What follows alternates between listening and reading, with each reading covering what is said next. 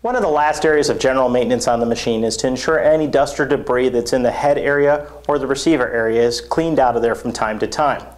We'll open up the cover on either one of these areas by removing the two screws. Take the cover off and set it aside. And then just take a rag that may have some cleaning solution on it or a little damp rag and wipe inside here. Look for any dust or any buildup in there and you're just wiping these down. You never want to blow any air in here or use an air compressor to blow this out. That could cause dust or debris to go up onto some of the circuit boards, onto the encoder strip, or up into the head area, potentially getting up into that and causing issues. So never blow air into the machine, but simply take a rag and wipe all that dust and debris out of there. By keeping up on this type of maintenance, you'll lessen the amount of dust or debris that can get onto your prints and have a higher quality product.